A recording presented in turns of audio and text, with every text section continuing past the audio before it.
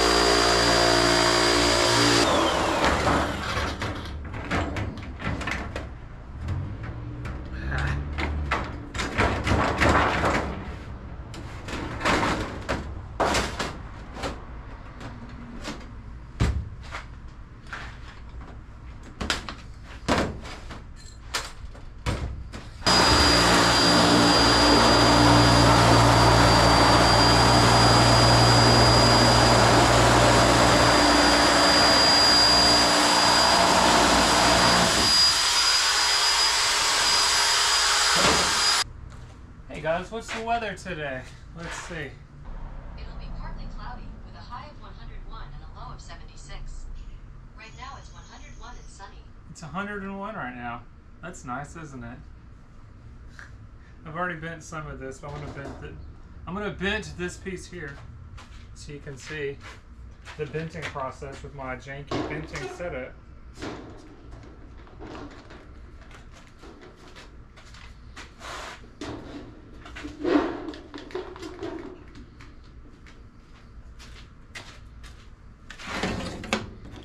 A little hammer. This is gonna be hard to do. No. No, that's alright.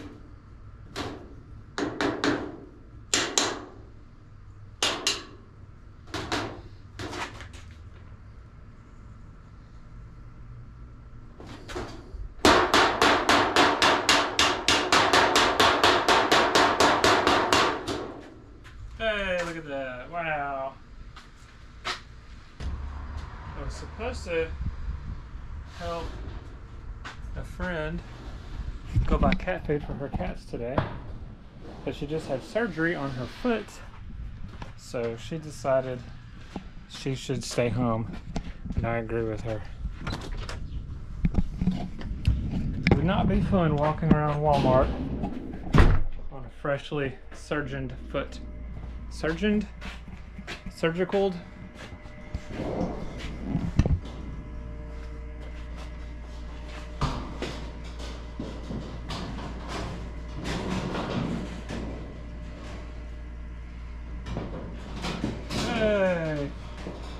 Look at that.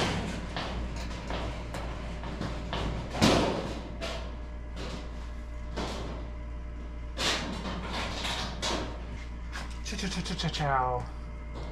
Now I just have to uh, finish it. See those big gaps? See how there's a roof missing? And see how there's no front?